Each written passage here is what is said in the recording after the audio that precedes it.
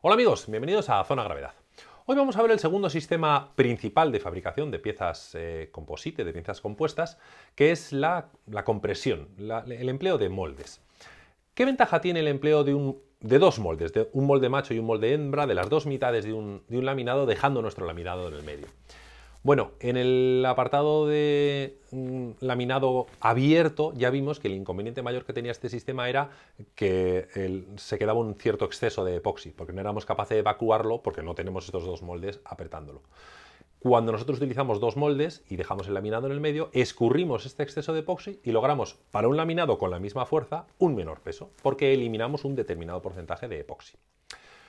Si nosotros hacemos un laminado abierto, mm, siendo muy optimistas, con experiencia y trabajando bien, podremos, no sé, aproximarnos a un 50-50. 50%, de fibra, 50% de epoxi en el laminado final. Es decir, si un monocasco pesa 20 kilos, son 10 kilos de fibra de vidrio, 10 kilos de epoxi. ¿vale? Cuando nosotros utilizamos compresión, lo que hacemos es aumentar eh, el porcentaje de fibras y disminuir el de epoxi. ¿vale? Con lo cual, lo dicho, logramos un laminado más ligero.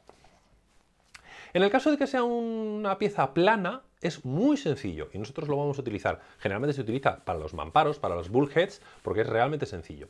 Necesitaremos una madera de conglomerado de la normal, de la barata, de esta que viene con melanina, que es una especie de material normalmente de color blanco, es el que se utiliza en los armarios eh, económicos, ¿vale? Eh, simplemente vienen forrados con melanina por las dos caras y un material mm, conglomerado barato en el centro. Eh, unos tableros gorditos, pues de centímetro y medio o algo así, para que tenga bastante cuerpo el, molde. Eh, nosotros lo que tenemos que hacer es, la preparación previa es muy sencilla, simplemente se le pone precinto en los extremos, lógicamente, para que el epoxi que escurra no se meta en la parte de los cantos, que se quedaría perfectamente adherido. Y luego lo que tenemos que hacer es eh, Mm, un tratamiento antiadherente a esta melanina, que es bastante lisa, pero necesitamos dos componentes que de nuevo son baratos, de nuevo te van a vender en la tienda donde te vendan la, fibra, que son por un lado la cera desmoldeante y por otro lado el alcohol polivinílico. Cera desmoldeante es un botecito, coges un trapito y le vas dando capitas de cera, dejas que seque, le pasas una valleta, saca brillo y le vuelves a dar otra capa, así hasta que le des pues unas cuatro capas más o menos. ¿Esto qué hace? Mata el poro que pueda tener el material y lo deja absolutamente liso, ¿vale? Esto, por ejemplo, si tú utilizas un molde de escayola, tú imagínate que tienes una carrocería y le sacas un negativo con escayola y quieres reproducirla. Esa escayola, lógicamente, luego la refuerzas con fibra de vidrio, la refuerzas pues, con unos maderos, etcétera, para que eso tenga una estructura y luego quieres hacer una carrocería sobre ella. Lo primero que tienes que hacer es matar este poro, lógicamente, a base de cera desmoldeante. Una vez que tenemos la cera desmoldeante bien aplicada y bien seca, se eh, añade una capita de alcohol polivinílico. Es una sustancia un poquito gelatinosa y se extiende rápidamente con un, con un trapito y se deja secar. Y eso forma una peliculilla muy fina, un poco un moquillo, eso se, solidifica y cuando terminemos el laminado, el laminado se irá con este alcohol polivinílico y se desprende, como como la piel de una, serpiente, ¿comprendes? Se, desprende y luego con agua se elimina fácilmente, con lo cual nos garantizamos que no se nos quede adherido el, laminado a nuestro, molde. Eh, cera desmoldeante, no utilices otra cera, cera desmoldeante, por favor, y alcohol polivinílico. Es barato y es lo que mejor funciona, no, no arriesgues aquí. Una vez que tenemos preparado nuestro molde, lo que hacemos es vamos eh, realizando nuestro laminado. Empezamos por una capa, nosotros ya tenemos nuestro esquema de, laminación, sabemos las capas que vamos a utilizar y las vamos añadiendo en el, orden definido y vamos empapándolas con, nuestro, con la resina epoxi. Al principio del todo se añade un poquito de resina epoxi en, el molde inferior, se va añadiendo la tela, etcétera. Si utilizas núcleo, añades el núcleo, siempre separado por una barrerita, ya sabes, de, epoxi con, con sílice coloidal y terminas tu laminado en la, en la parte superior. Colocas la otra mitad del molde y ya lo único que hay que hacer es apretarlo. Para apretarlo, muy sencillito. Nosotros utilizamos desde los, los sargentos, los tornillos estos de, carpintería, eh, simplemente los cierras. Eh, es importante, por eso te decía, que la madera fuera, fuera, gordita para que se distribuya bien la presión. Si es una madera muy fina, probablemente se combe bajo la presión de estos sargentos y entonces apriete mucho en una zona, poco en otra y el laminado no te quede bien, no te quede perfectamente plano.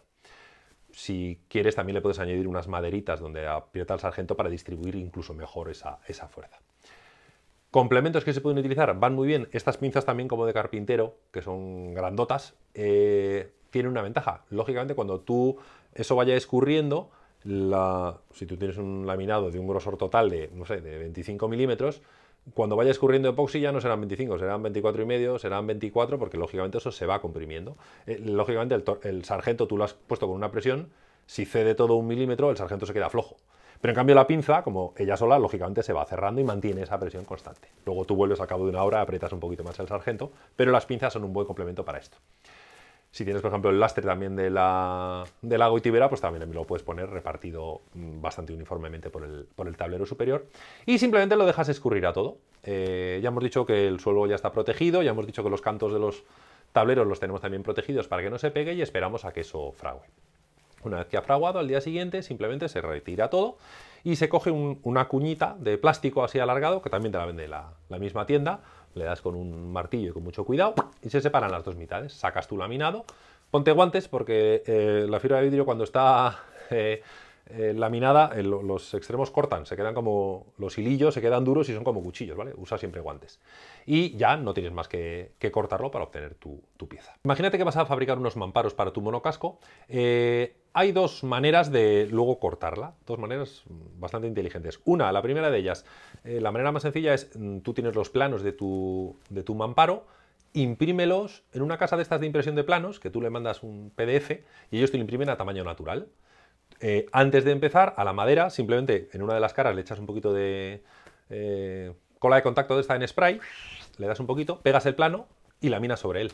Y cuando terminas, tienes la guía perfecta para cortar el mamparo por el tamaño, por la, línea exterior y los agujeros donde tienes que hacer los, los edificios que tengas que hacer. Ya lo tienes eh, perfectamente a escala.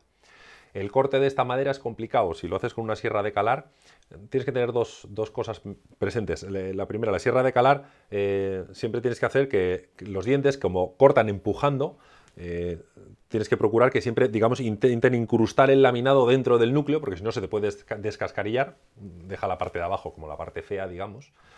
Eh, y segundo, eh, sobre todo con núcleos gordos y de, madera, y de madera dura, se te va a combar la hoja. Por eso es más adecuado utilizar sierras grandes de esas de cinta de carpintero o llevarlo a un taller de carpintería que te lo corten.